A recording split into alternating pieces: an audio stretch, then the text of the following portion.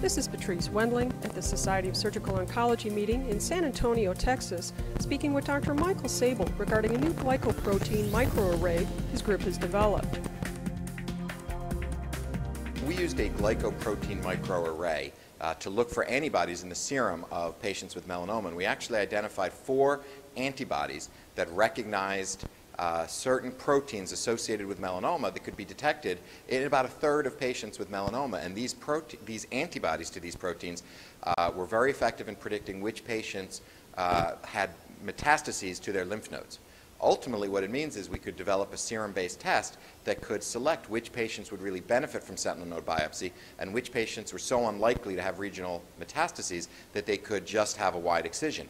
This should significantly lower the cost and the morbidity associated with the surgical treatment of melanoma.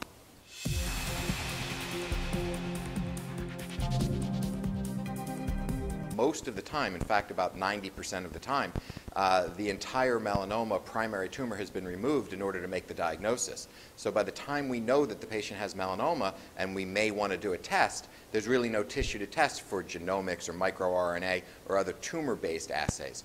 Proteomics uses serum, which means any patient, regardless of whether the primary tumor was removed or not, uh, could have this simple blood-based test in order to determine their prognosis and the benefit of adjuvant therapies.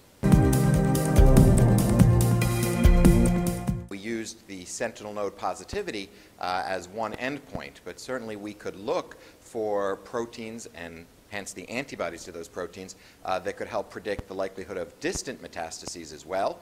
Uh, this would be helpful in selecting which patients may benefit from adjuvant therapies. We could look for antibodies that may correlate to response to adjuvant therapy, meaning a patient begins their adjuvant therapy, we could test their serum after a month and see if these antibodies are present or absent, and that might select the patients that aren't getting a benefit and may discontinue that therapy or move to a different therapy. We could even look for proteins and antibodies that are associated with benign versus malignant disease uh, to sort of help understand some of those proteins that are important in the development of melanoma. This has been Patrice Wendling at the Society of Surgical Oncology meeting in San Antonio, Texas.